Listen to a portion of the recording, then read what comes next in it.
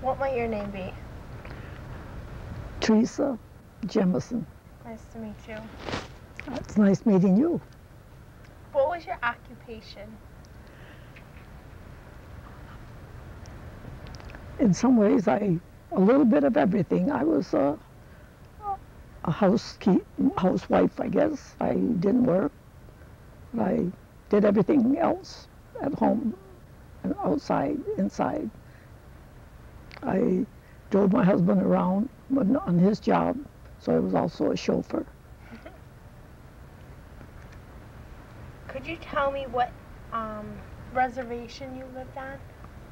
Well, I was born on the St. Regis Mohawk Reservation, which is in Hogansburg, New York.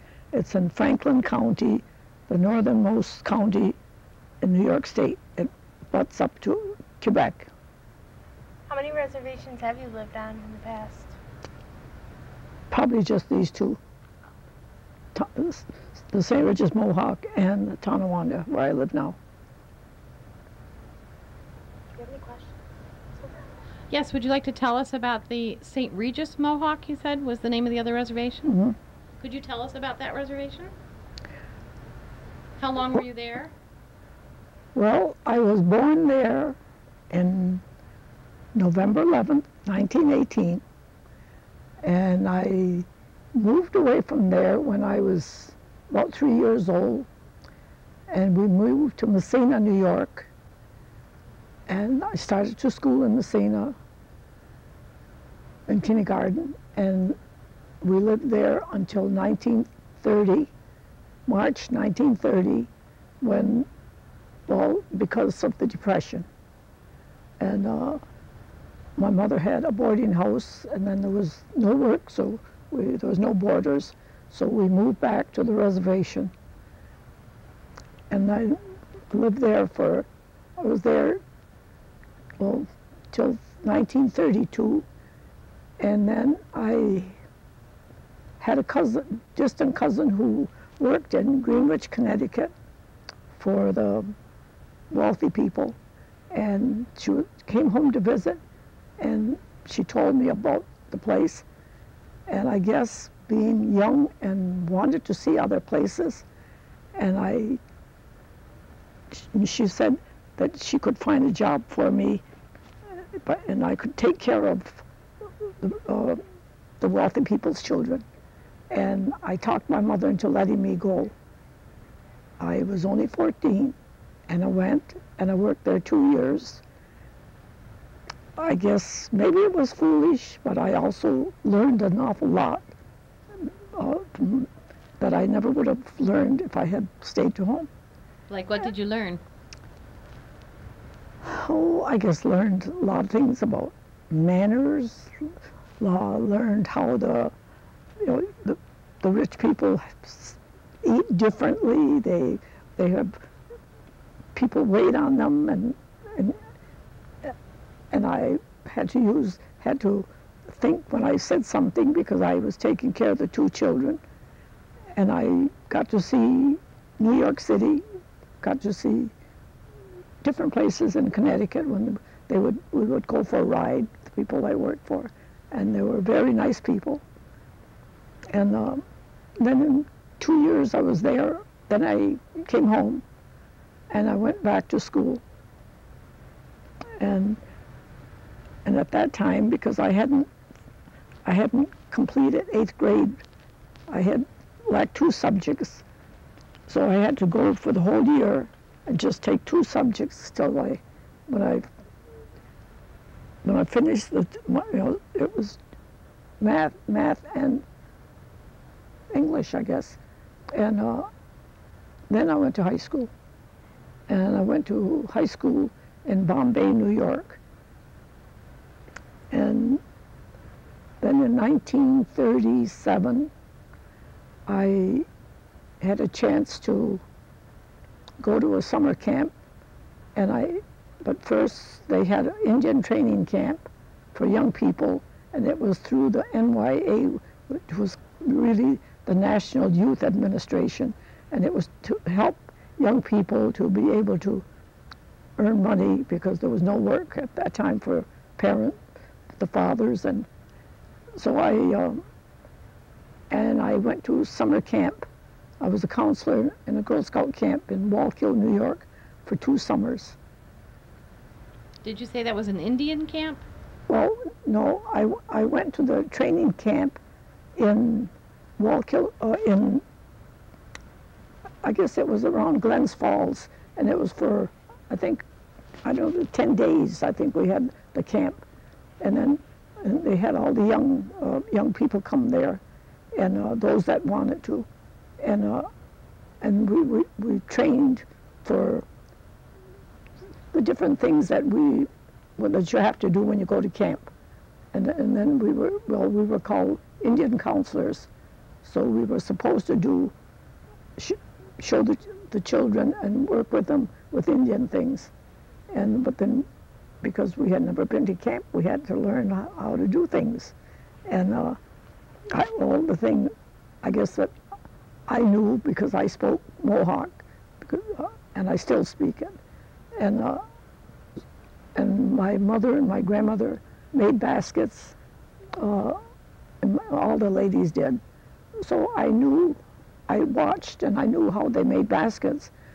So I had to teach basketry, but I never made a basket myself, but I could teach it. And, and I was there for two summers. And when I went to the Indian training camp, and that is where I met the man who was later my husband uh, the, the, Mr. Jemison. And, and he and Edmund, my husband Edmund, who has been gone 34 years now, graduated from Akron High School in 1935. Was he an Indian counselor also? Yes, but he was in New Jersey. Uh, you know, he, he went to New Jersey as a counselor. But you met at the camp, though. Yeah, mhm. but he, but he was going to Cornell at the time. And so I then, well, af- after the two summer, well, then in the fall, I instead of going home, my sister was working in Syracuse.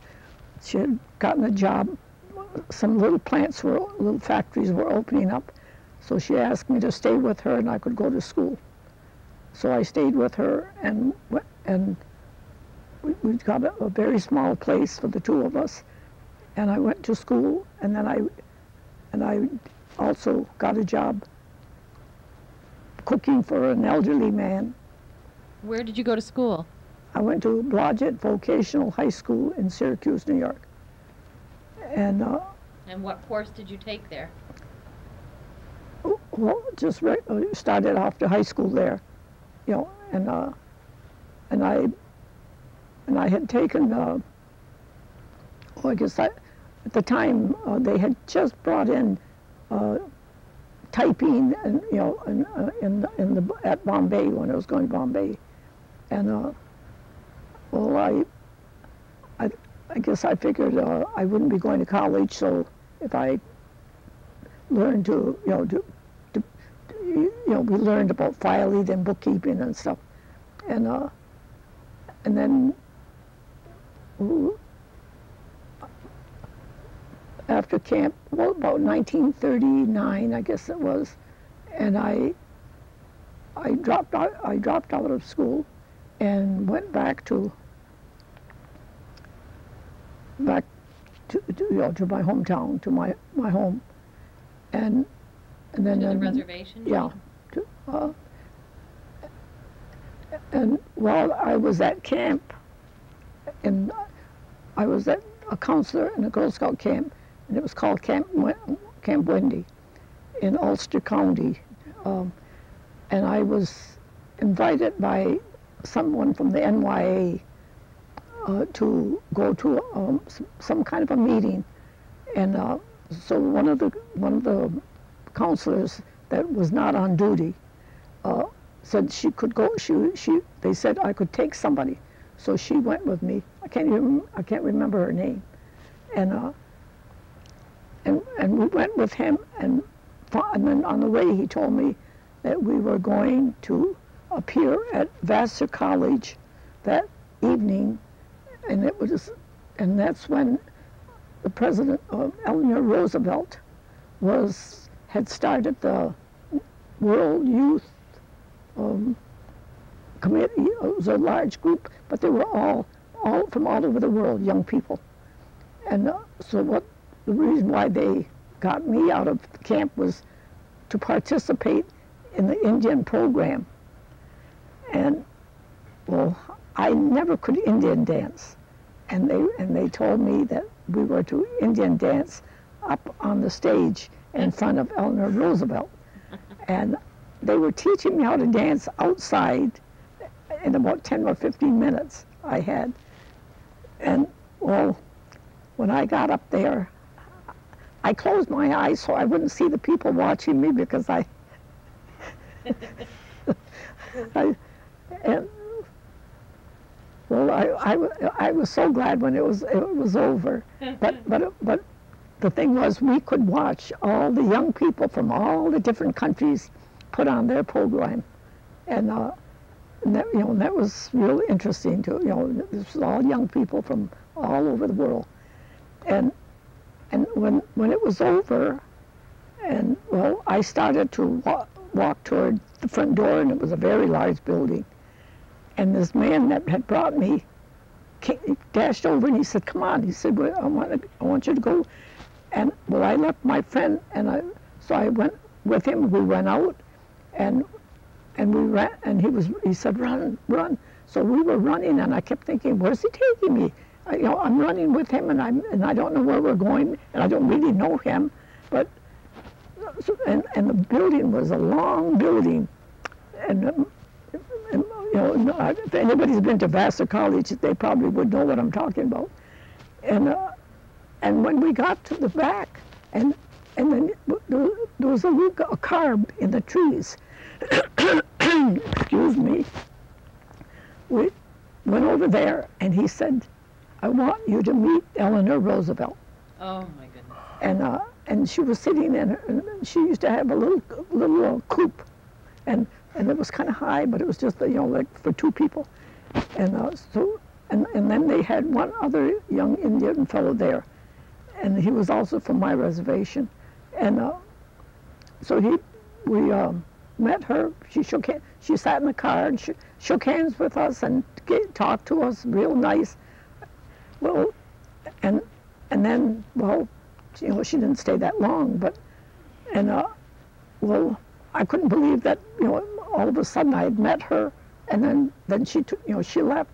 Well, we had gone out the back door, and all the people were at the front door waiting for her, but she she had left. And so the, when the lady, that young lady that came with me, you know, when I found her again, and I and she said, "Where did you go?" And I said, "I met Eleanor Roosevelt." I, she shook my hand, and she, and she so she was shaking my hand, and uh, she said, "Well, I'll shake the hand that shook the hand of Eleanor Roosevelt."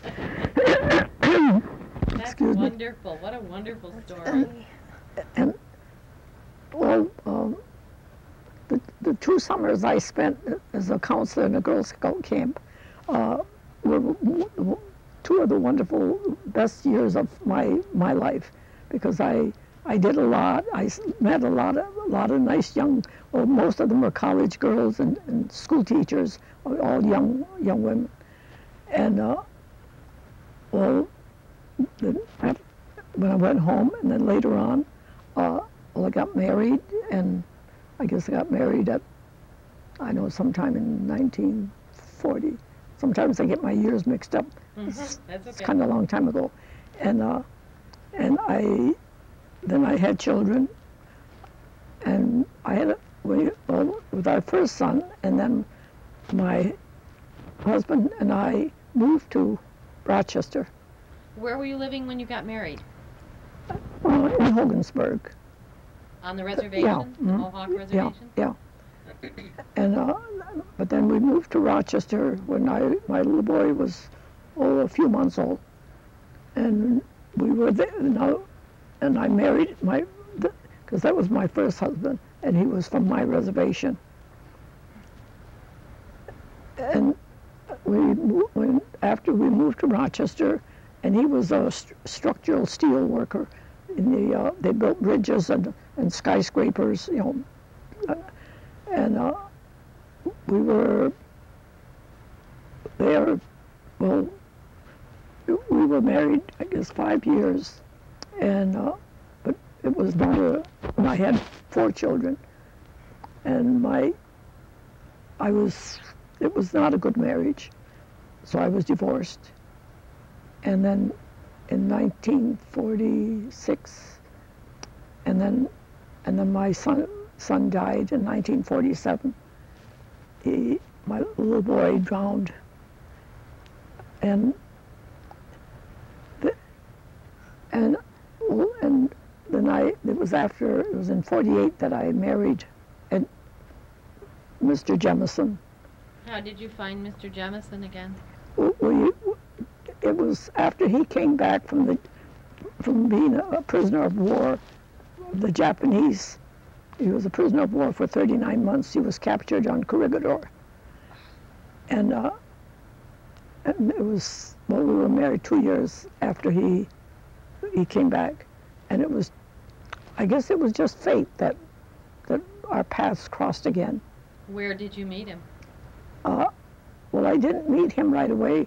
I got a letter from my sister telling me that he had been a prisoner of war, and I didn't know this because I never never heard from him after you know after he he went in the service in 1939, and uh, and and it was because I got the letter from my sister, and I told I I sat down and the only address I had of him was Basom, New York, and uh, there was no no no zip codes in those days, nothing, just Basom, New York.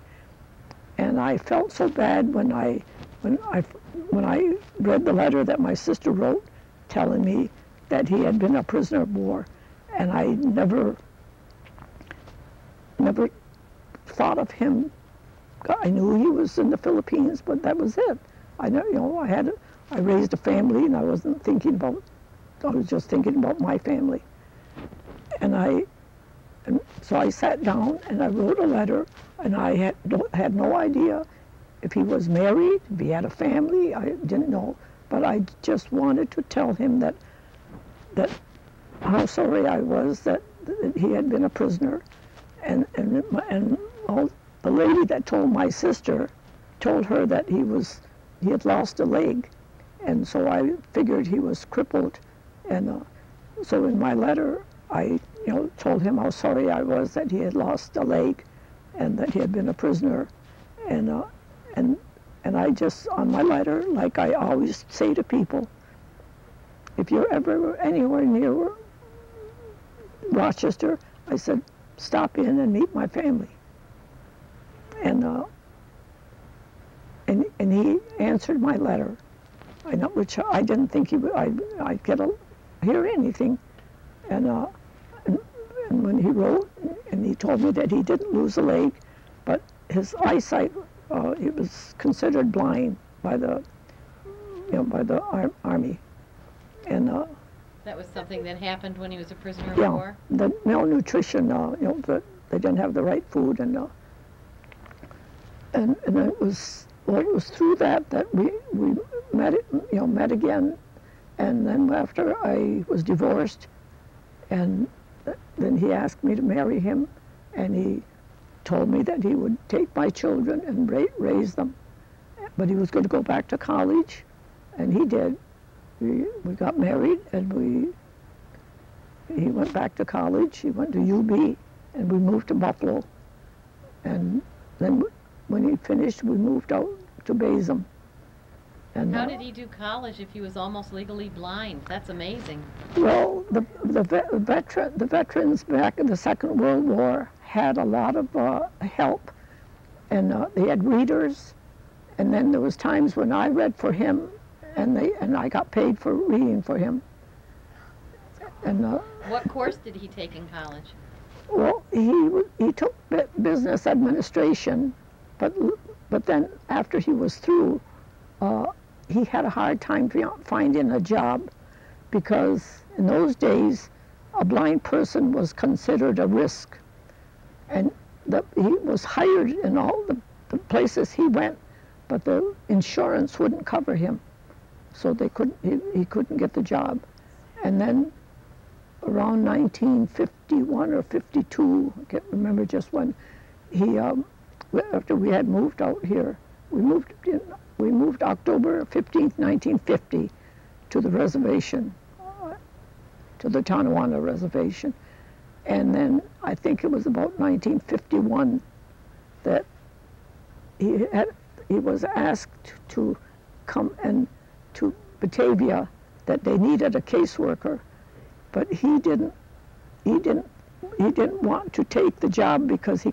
he couldn't drive and a caseworker has to drive and I told him he, he could take the job and I would drive and well he still didn't think that you know because we had my youngest my son Dwight who also graduated from Akron was not in school yet. And I said, well, I'll, I'll take him with us and we can sit in the car while you visit the people you have to visit. And this is what I, what I did. I, I drove and, and took Dwight. And then when Dwight had started to school, and oh, he had, he was going to, back then in 1951, 52, I guess it was, they, they had so many children uh, going, starting just kindergarten. I think they said at that time they had the largest, and they didn't have the room, so half of it was at the basement of the Denio Library. Library, yeah. And, and this is where Dwight started to school. And uh, well, there was I, when when I if I when he was going in, in the morning, I could take him in the afternoon.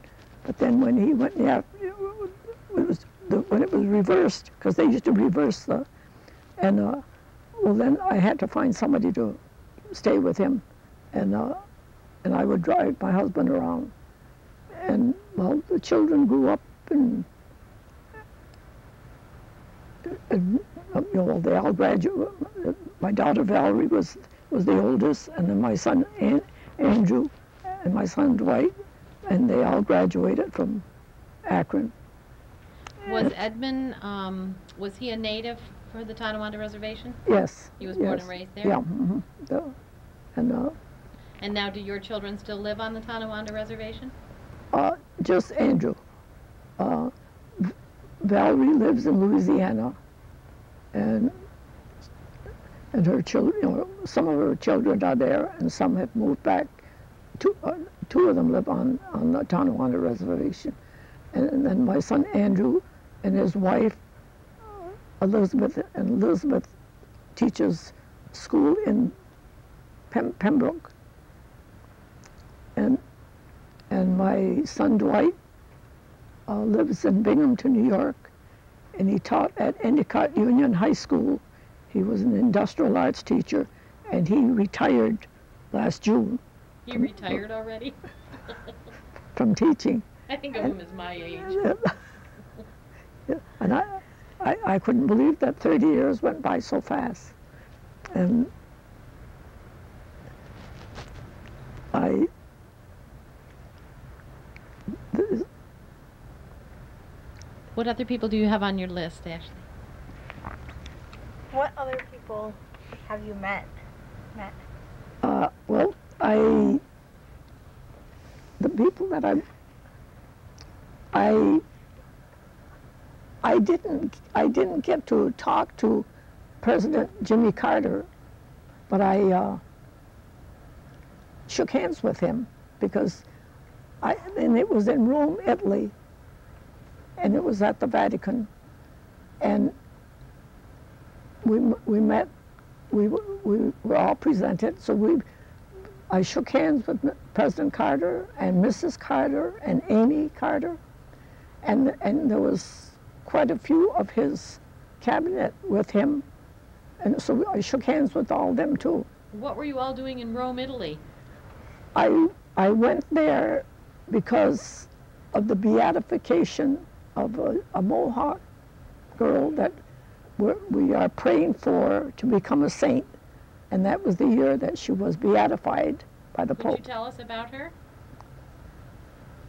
Well, she was born somewhere around Fonda and Auriesville, and she was half Mohawk and half Algonquin.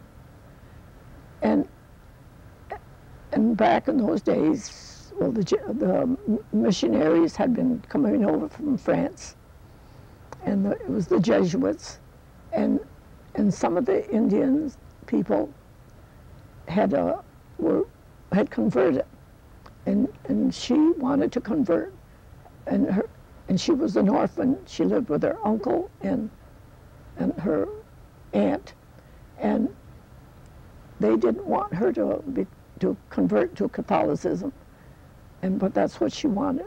So some of the, those that had already converted helped her to run away, and she ran away from there, and went to way way up beyond Montreal, and they walked, you know, from, and uh, and then and she was I think um, she died when she was about 21. She was she was young when she died, but she had they that was why she ran away because she didn't want to marry, and she well I guess if she had lived longer, she probably would have become a nun because they've always in, in the readings that I've done of her, and uh, but it was because of her that I got to see Rome, Italy, and and I have tra- I've been going to the different states in United States uh, almost every year when when they have conferences, and it's all on her. It's it's the prayers are to you know to for her to gain sainthood. What is her name? Her her Indian name is Kad- Kaderita Kakuita. That's beautiful. And what does that mean? Well, Kad- Kaderi is Catherine. That's how they you know they say Catherine in Mohawk, and and I think it's a lot of the names are because you would probably say in in French they would probably make it sound like Catherine, and then and and then in Mohawk you don't have a ine, you know, and so it's Kadeli, and that's like my Indian name because my name is Theresa, so I was always said my my mother and everyone called me Deleuze, and again that's from the French Therese, and it, so they changed it to Deleuze. And what did Catherine do that would make her a saint? she has to do one miracle because she's everything else she's passed, but she needs to do one miracle. Did she do a miracle? Not yet. That's why she's not a saint yet. Oh, she's still alive? No, no, you, no. You, you, they don't make you a saint when you're alive. You, I didn't think so. Yeah. Oh no, she died in the 1700s because she was born in the 1600s. So she, but we're, we're, we keep hoping. We keep hoping that the you know the Pope would make her a saint. So you're hoping to find out that she did perform a miracle somewhere? Well, we will, you know, we will all know when she does, you know, because everybody keeps in touch with, you know, each other, and uh, and then I, I, my my daughter works in a well, she, she works in a post office in Hammond, Louisiana, and a few years back, I. I went to visit, and she told me, she said, that Carroll O'Connor and was making the the, the movie, the TV movie that in the heat of the night was being made at her post office, but it would they would do it after you know af- after the people had gone home, and and all of the the, the in the when the when the scenes were done, it was on the outside of the post office. And and she had met Mrs. O'Connor, and when she told Mrs. O'Connor that I was coming down to visit her, Mrs. O'Connor said, "Well, you could tell you call me as soon as your mother gets here, so that I can meet her." So we we we, we called her, and then she told us to come to the motel where they were staying, and we went there, and and met. Oh, first we met her, but he he was busy writing because he he wrote all the, the all the um, story of the the in the heat of the night. I didn't realize he Yeah, wrote that. yeah. He, he, he and, and this is what. So she said he'll be down in a little while, and uh, well then when he came down, and uh, so she introduced us to him, and and he was just like people I know. He he was so friendly, and and then other people when they saw him came up to him, and you know they here is you know Carroll O'Connor, and uh, and and but every time somebody came over, and then he would introduce us to the people that, and he'd say, and these um, and this is my friend Theresa Jemison, you know, and uh, so we, and, I, and we, my daughter and I, you know, laughed about it because we thought they were probably wondering who in the world are they, and and then they took us out to dinner. We went out to dinner with them, and when we, my daughter and I were going home, and I said, I can't believe that I was, I ate with Carroll O'Connor, and, and I was talking with him, talking to him, I, as if I'd known him all my life. That's exciting. Can you tell the kids who Carroll O'Connor played on television? Well, well, he he played in two different things. He was on, first it was the um, All in the Family, All in the Family. the, the Archie Bunker.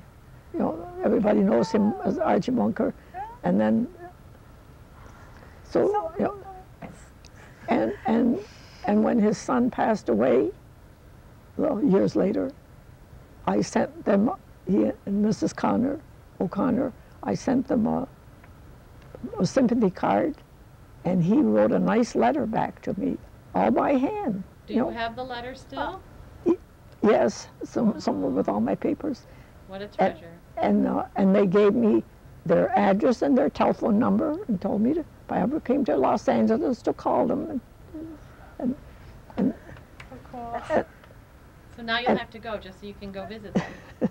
and, well, I, when, uh, when, he, when he passed away, and I sent her um, you know, um, a sympathy card too.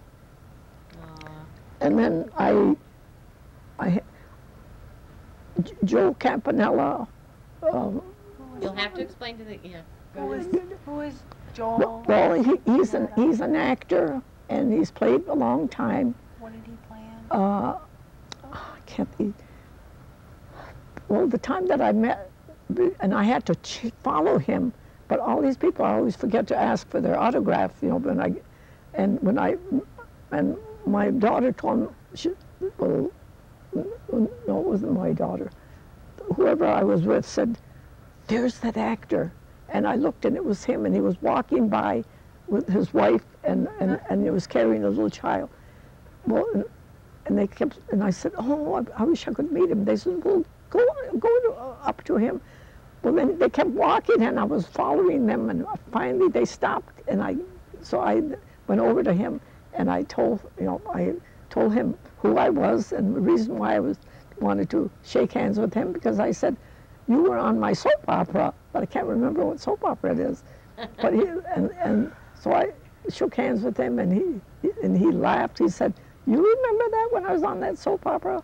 And I said, yes. But he's, he's plays on something now that on one of the night shows. Uh, but he has a small part, you know. Uh, and uh, but so I- and I, you know, and I just thought that was wonderful that I met him. And then I also met Ethel Kennedy. Uh, and this was again back in the, I think it was in the 70s. No, uh, it has to be before, no, it was in the 60s because it was before my husband died. And we, we went to, I think they were opening a small factory in, on the, on the Cattaraugus Seneca Reservation. And, uh, and they, and uh, Robert Kennedy was going to be the speaker there. And, uh, and, and, my- and the job that my husband had now, uh, as years had passed, he was the social worker for the whole state of New, of, uh, New York State.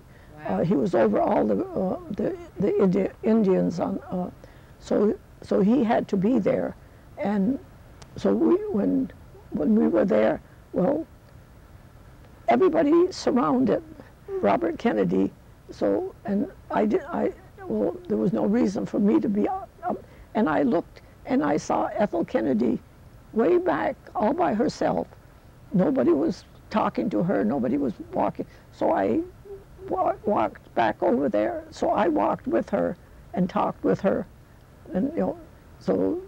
But I, my husband got a picture of a, little snapshot, uh, with you know, with, uh, and I had, I did have a picture of, of Robert Kennedy, and and a, a picture of Ethel, and I sent it to them one time, but I never heard from anyone.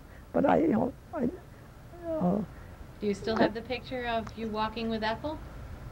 I no, I didn't get a picture because I was walking with her. Oh, I thought you Yeah. said your husband took a picture No, no, he, he got a picture of Robert Kennedy in the in the, with the, in, in the group. Okay. But uh, but I you know, and again I didn't think to get her autograph, and and then I uh, oh, I I met I met two other actors. I also met the one the man that used to be on uh, was it Dallas, the one that was always fighting with uh, um, Jay With JR? Jr. Remember, he, remember he, he he had been married to to Jr.'s wife, the lady that played you know, Jr.'s wife. She had been married to him before, and he was real kind of a fresh-sounding fellow. And I can't think of his name. I can't either.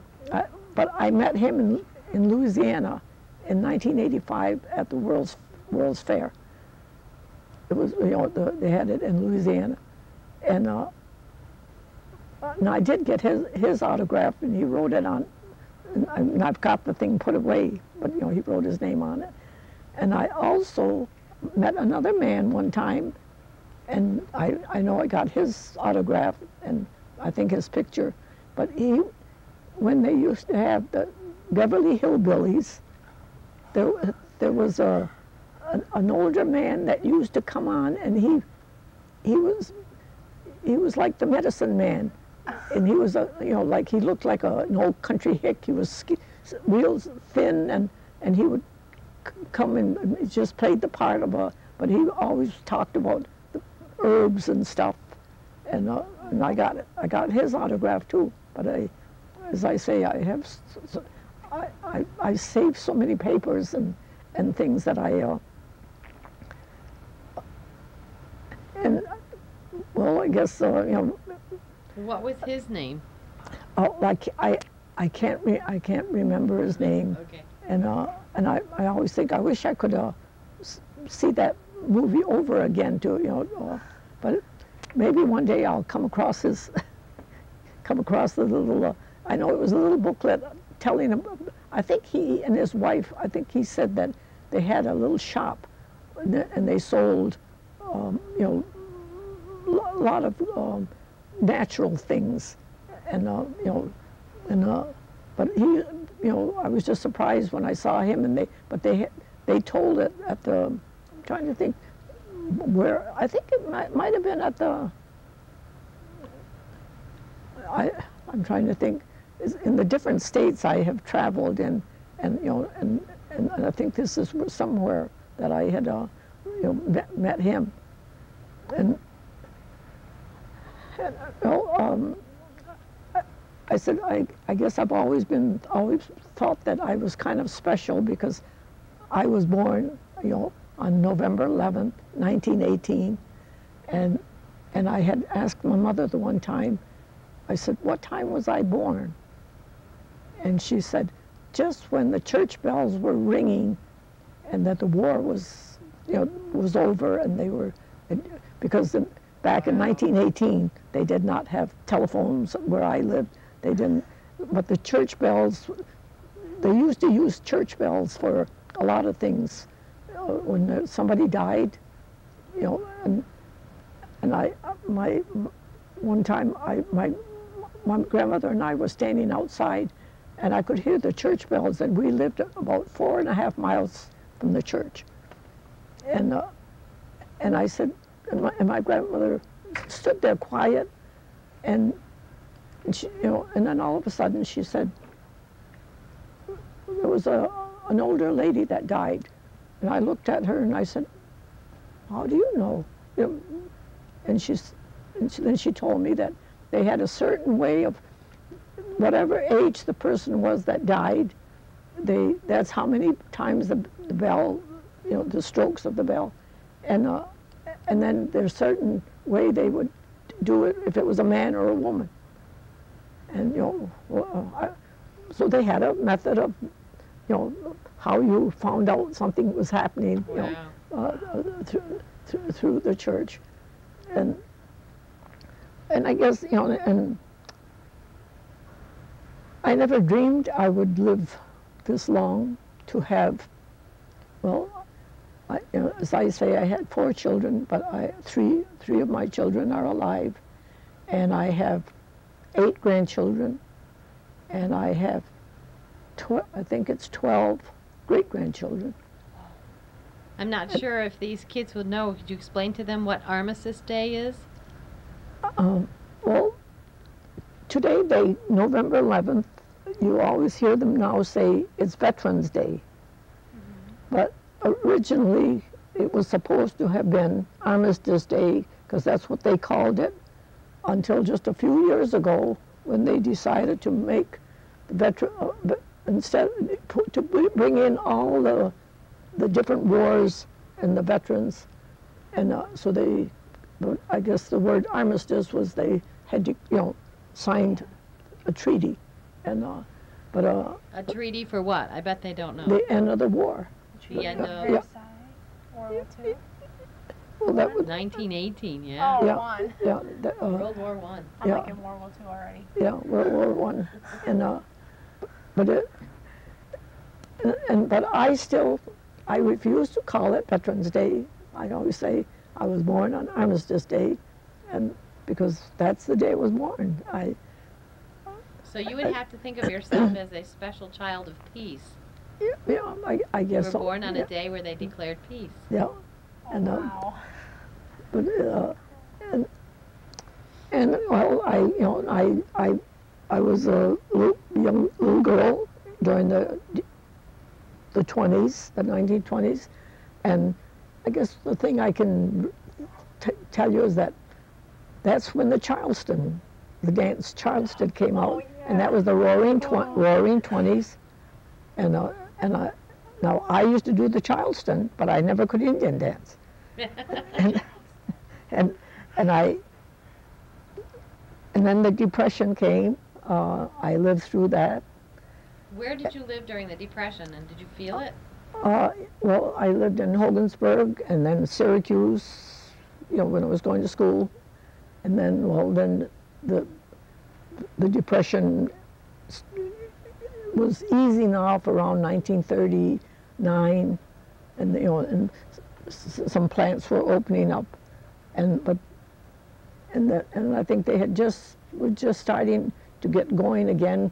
But I, I can't remember that, that because us young people weren't paying attention that somewhere off in Europe there was problems were going on and, uh, and, and that and, and Hitler was you know we were just busy trying to live not, you know not to be thinking about Europe.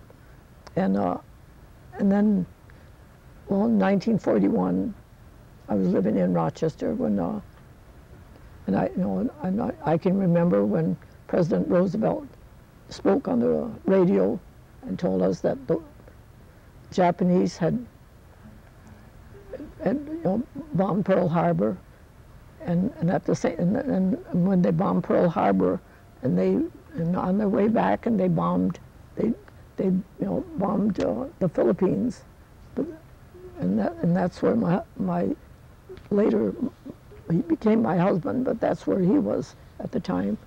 And uh, so it's been um, oh, I, I, there's times because I didn't go to college, I thought that I um, I missed something that I I did uh, I did finish high school here in Akron in 1958. I had in my because I went to my 12th year, and I so I when I um, they had adult education, and I took my um, can't think of what they called it. Uh, you, you could get your uh, like an equivalency. Yeah, mm, and uh, it was in 1958, and uh, and there was a, a, a lot of um, people that were like me that you know uh, hadn't finished complete they hadn't completed their so so we got our equivalency and we so I I did finish high school Wonderful. and uh, okay, Ashley, the- do you have more questions, honey? Um, what historical event impacted your life most? Oh, there have been there there have been so many because I I guess you know the the Second World War, my living living through that, um, and and then then then my then Vietnam came and I had two sons that were in Vietnam. Well, one's in in at that time, but Dw- Dwight went to Vietnam, and uh, but and and my son Andy was in uh, because they they stopped sending two brothers to the same uh, section because of the Sullivan, Sullivan brothers that the five were on the same ship and they all died together back during the during the Second World War, and uh, so they they didn't send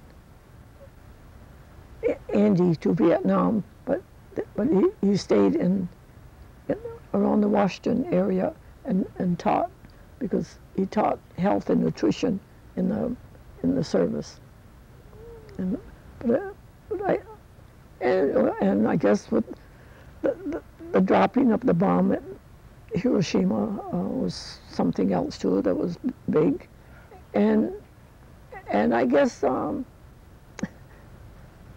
seeing this when, when uh, air, air, during 1927, when I was a young girl yet, uh, when Lindbergh crossed the, you know, Charles Lindbergh crossed the ocean and you know, went, went to, well, that was on the news, you know, but see, we all, we got all our news either on the newspaper or you went to the movies and then and the newsreels gave us all our uh, our news up the so and back then I went to the movies uh, every dime I got because it only cost ten cents and I went to see the, movies so somebody gave me ten cents for doing the Charleston and and I had money to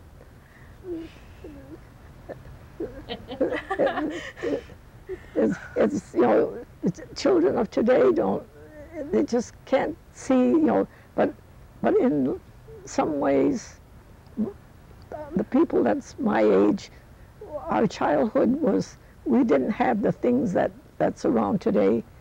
And uh, so I I can remember when lady down the street from us got a radio. And you could only I think only play that night. And my mother and I went to visit her. And and they turned it on. And and this voice was coming out of this box. And and I well, you know that was we never heard that. And so I waited till they all went in the kitchen. And I stood there in in front of this great big uh, you know like a horn and I stood there and I was talking back in there and I was wondering if they could hear me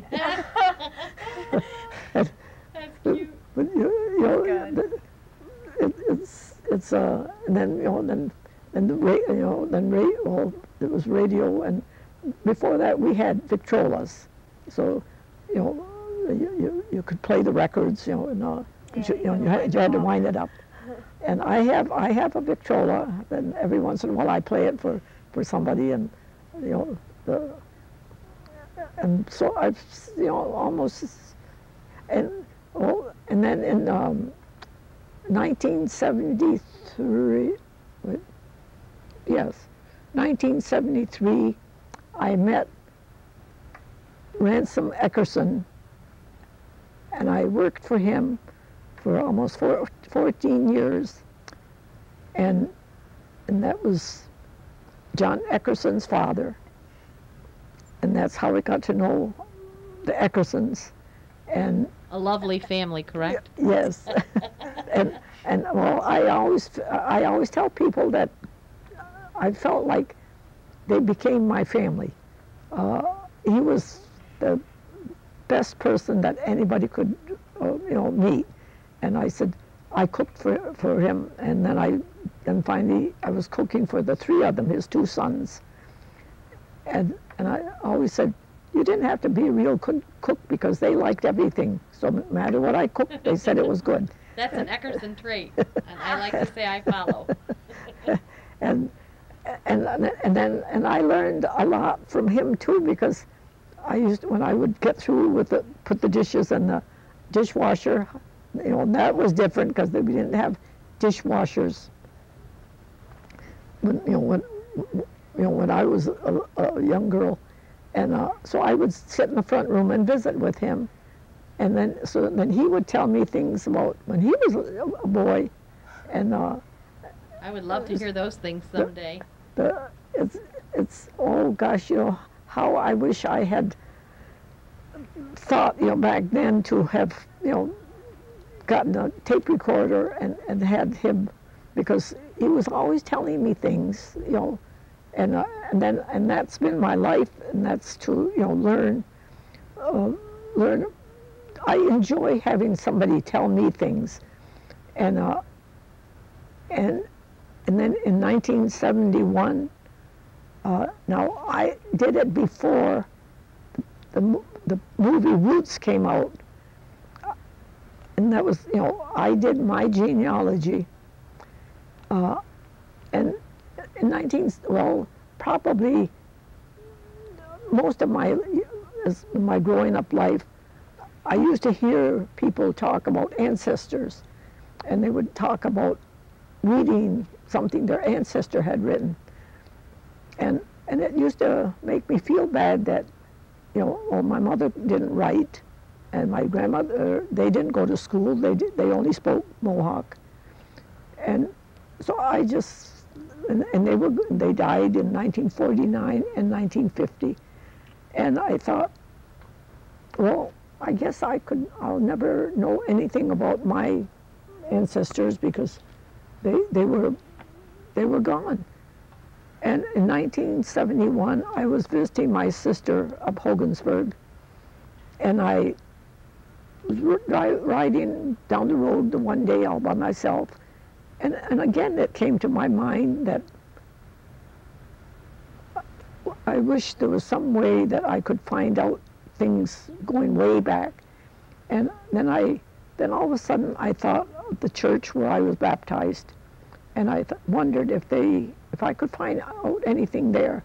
So I drove, and it's in St. Regis, Quebec, but I just, just went, you know, drove across the line and went to the church. And I, I rapped at the door, and the priest came to the door, and he said, "Anything I can help you with?" And I said, "Well, I came to find out how far back could I go in, in you know, in my family, because I said." He said, "Is there a reason you want to do this?" And I said, "No, but just that I want to do it."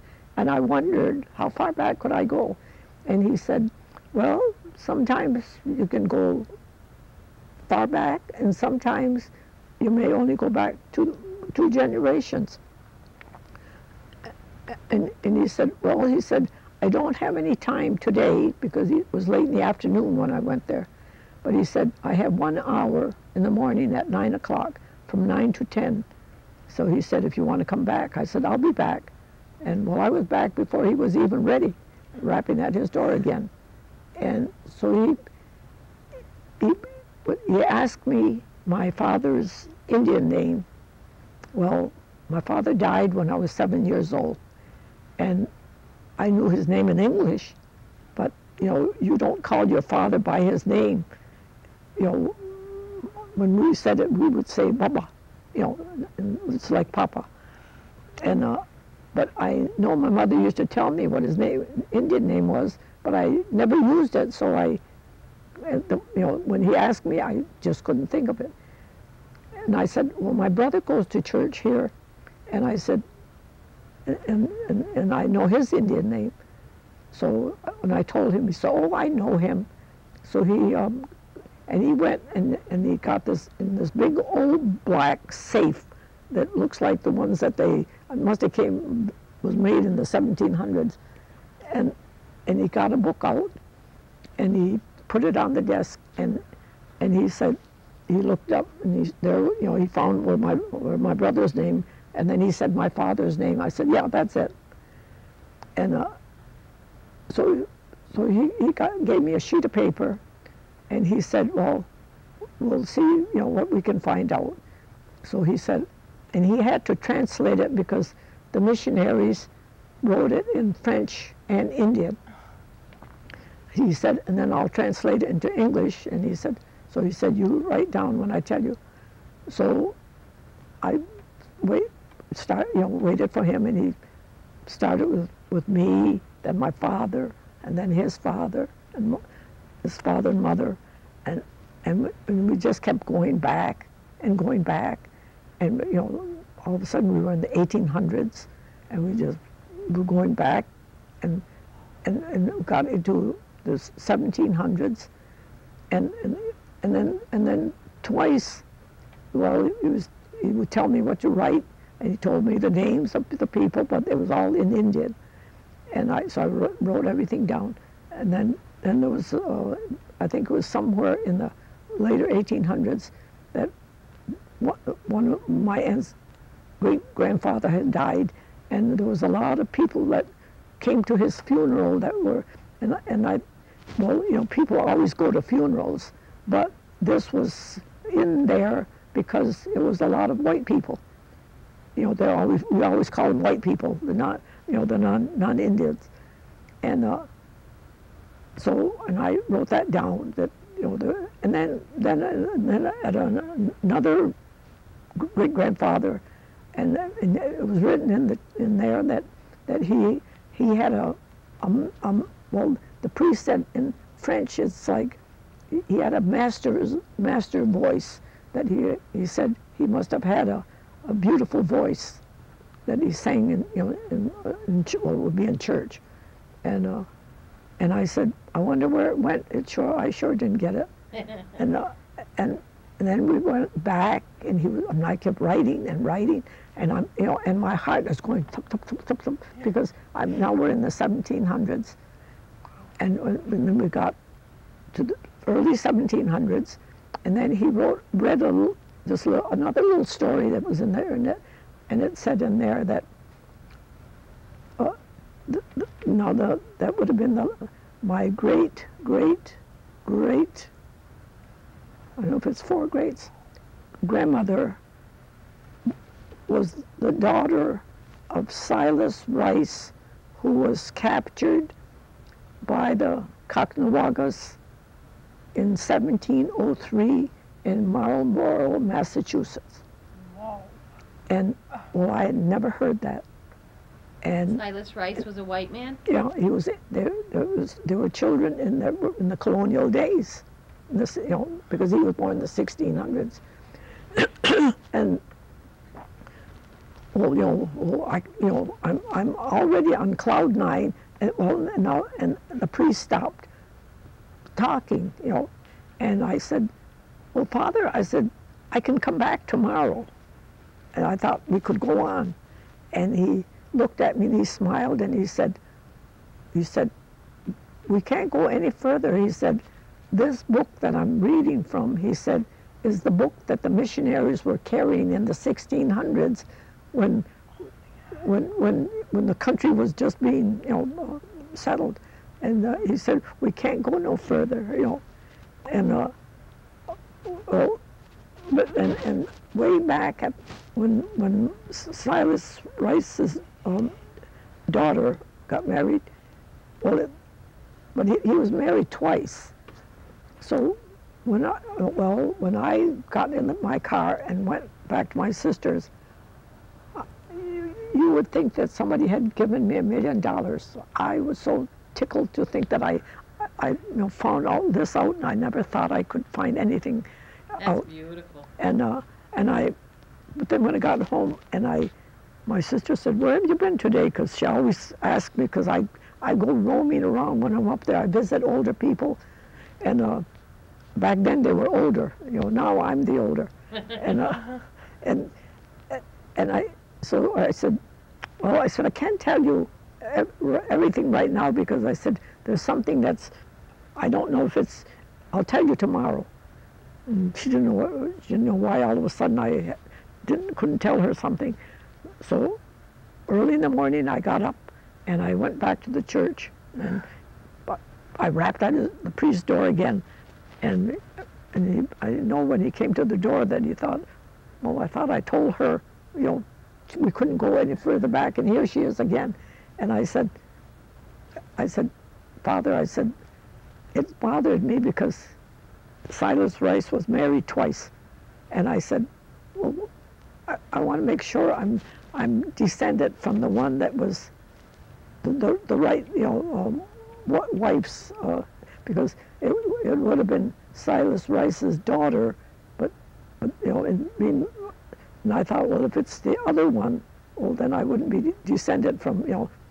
And uh, so, so he went and had to get the book out of the safe again, and he looked it up again, and he said, no, it's the right one because the other one had died, and and so she didn't have children, and so it was the second wife that was, you know, Silas' wife's uh, daughter that had, you know, married, and and. Uh, so I, now I, so when I thanked him, and I went home, and then I then I sat down, and I told my sister what I had found out, all you know, and uh, well, see, they all, my family all live up there, but nobody ever did any any uh, genealogy, you know, looking up, and uh, and then and now in the last few years, I, I well I I belong to well, in 1971, when I found this all out, and I came when I came home, and then and I thought, how can I find out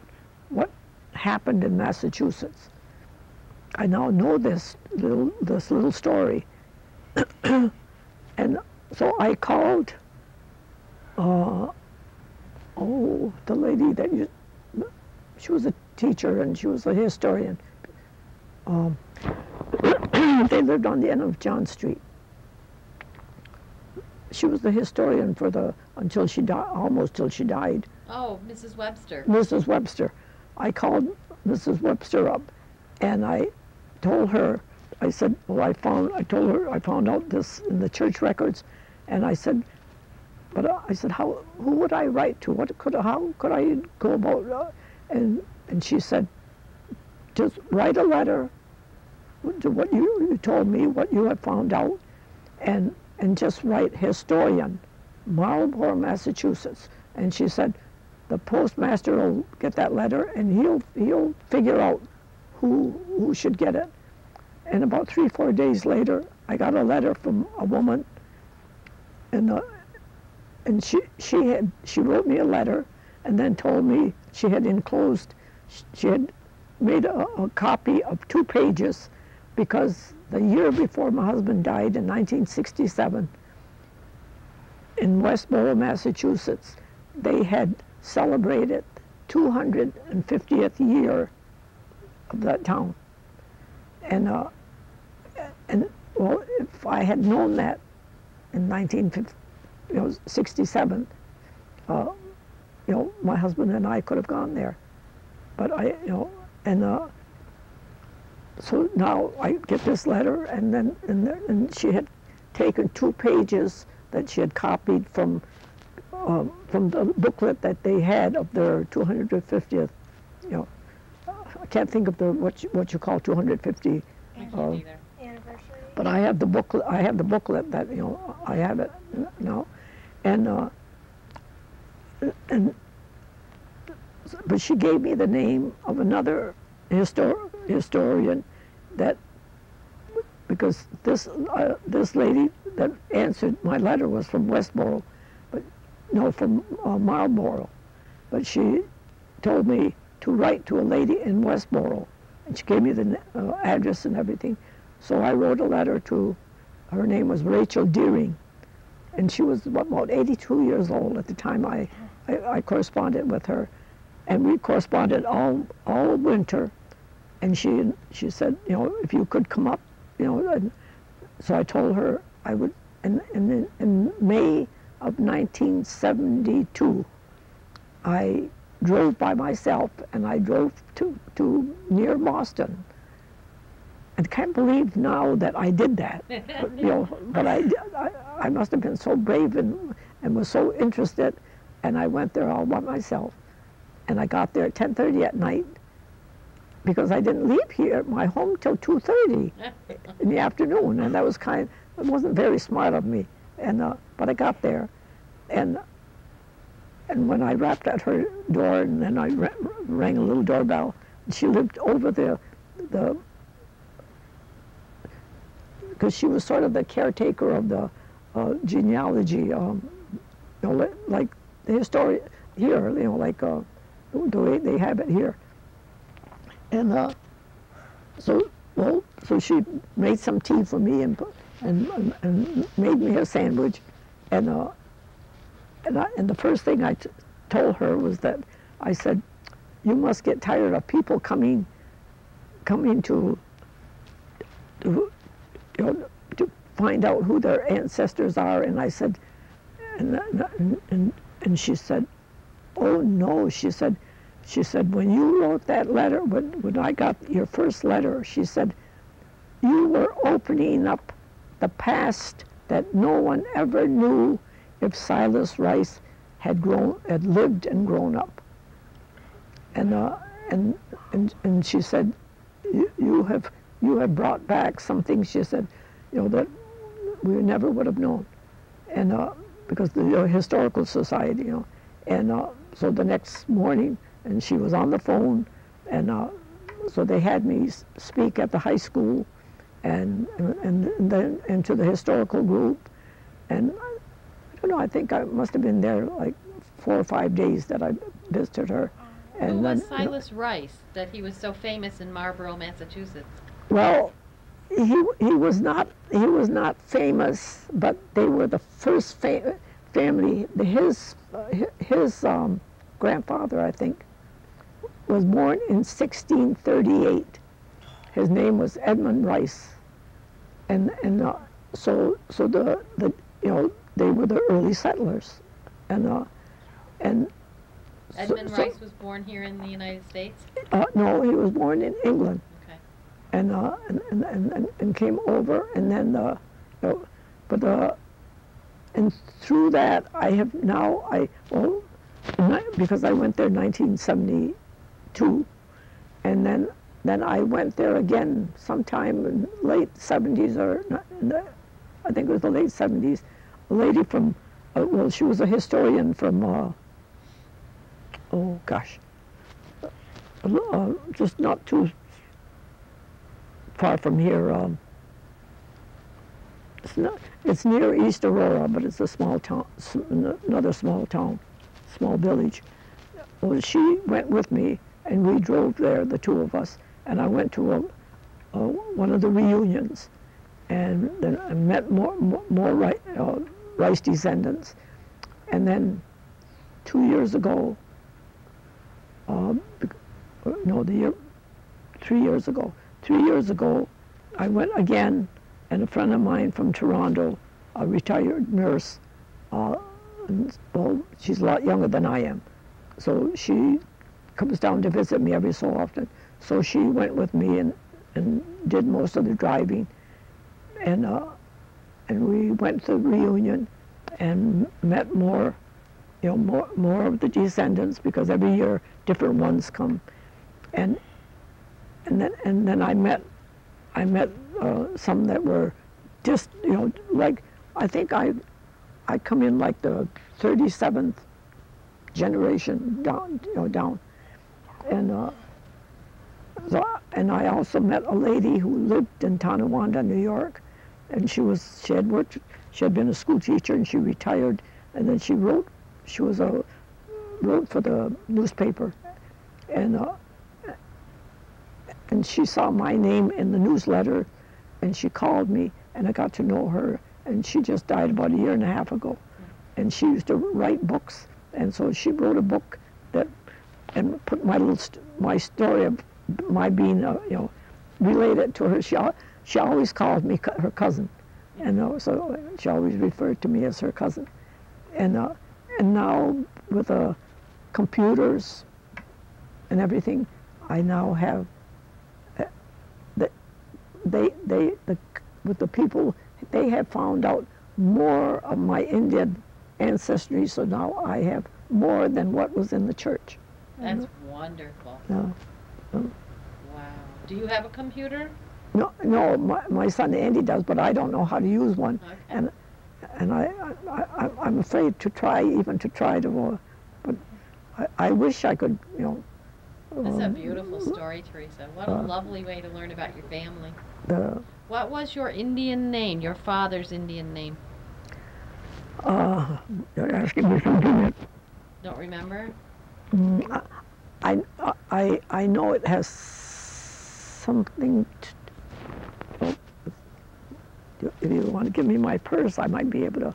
Okay. But my Indian name is is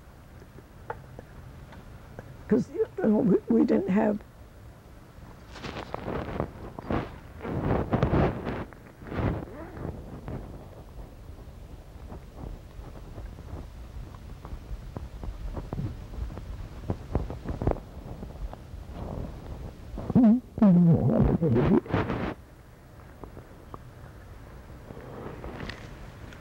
you, uh, you can see how Indian is written.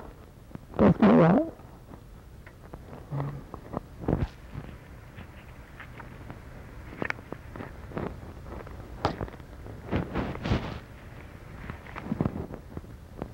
And what is that book? Yes, um, catechism, all in Mohawk. It's Mm. no, I, I, I have I have another one that has his Indian name on it. Th- th- this is my birth certificate from the church. So- mm-hmm. I- I know his, his name has something with blue, with the blue sky, but I, I I might say the wrong, the wrong name.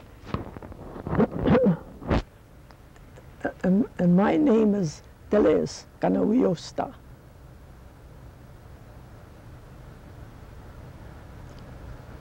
Wonderful.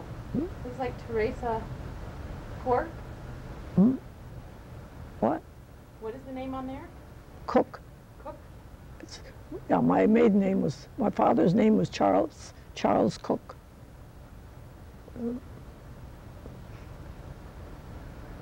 And then, then later on, later on, I also found out that my, my great grandfather on my mother's side was from Scotland.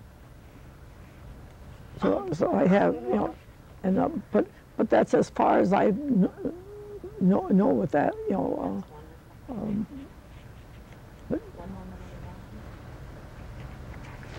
Do you have any memories of Akron? One particular. Well, I, I guess I have I have a, a, a lot of good me- memories of the people that have lived and gone from here, uh, and and now when I come to town, I ride by all the houses of the people that I met in the 52 years I have lived here. so many of them are gone, and and I never fail when I'm going back, and I always look up Eckerson and look over to where Ransom Eckerson used to live, and but there's so you know so, so many well because my children started to school here. I remember all the teachers, uh, and I remember the stores that were on downtown, and now they're all gone. Um, it's, it's I, I know people say progress is nice, but I guess uh, sometimes for some of us it isn't that great because now, now the, when you used to go in the stores years ago, you went in and and people came over to you and they went and got the things for you and, and if you wanted to try something on, they would help you to try it on and, and and now when I go in a clothing store, I have to look for the things myself and, and I, there's no one for me to say how does it look or you know uh, the and, and sometimes if they weren't busy, you visited with them. Now, the, the people that work in the stores don't have any time to visit with anybody, and uh, but they're, and I guess, um, oh, I, you know, and uh, well, I guess when my, you know, when my husband was alive, we, we did, we did a lot more. I, I belonged to the Order of Eastern Star here in Akron. I was, I, when I joined, and uh, and Mr. Eckerson's mother was the first matron of the Order of Eastern Star, and and I was matron in 1963-64, and uh, and that was something great. And I also forgot that I had a foreign exchange student in 1964 because my son because he, correct? yeah, from, from Edinburgh, Scotland. And then I went there in 1972 to meet and stayed with his father and mother for a month. Ian Thompson. And, and Ian, st- still to this day, last no- in November, he called me on my birthday, and he's called me from Scotland. And then he was here in January, stopped in to visit me. And, and I've been to the Holy Land, and I've been to, you know, saw quite a bit there. And I've been to, I've been to England, Scotland, Wales, Ireland.